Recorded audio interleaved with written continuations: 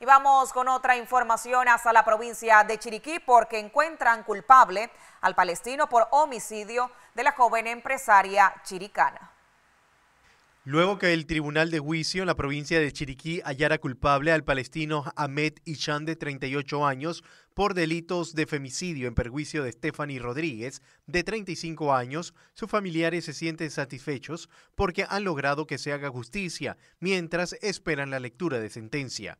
Se hizo eh, el juicio pues, que tiene que pagar por la muerte de nuestra hija, que fue brutalmente asesinada es parte de este proceso que es duro todavía para la familia. Sí, es muy duro, estamos sufriendo mucho todos los días y esto es, quebrantable tanto para su hija como para mí, su papá y, familiares y amistades. Obviamente que hoy día eh, no estamos preparados para hablar emocionalmente y alegrarnos por lo que ha pasado. Simplemente darle gracias a Dios por la justicia que ha, existido, por los profesionales que han puesto, se empeñaron por buscar la verdad y corroborarlo correctamente que se esperaba a pesar de que mi familia pues, ha sufrido esta situación tan dura para todos, tan difícil para su papá y su mamá, para su hija ante todo.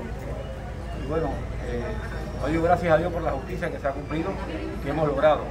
Ojalá pues eh, llegue la paz en, ambas familias y que estemos tranquilos, obviamente aunque el Tribunal de Juicio, conformado por los jueces Basilio Guerra, Albinis Almengor y José Rafael Hernández, emitieron el veredicto de culpabilidad, declararon al palestino no culpable de los delitos de privación de libertad y contra el patrimonio económico en la modalidad de robo en perjuicio de la víctima.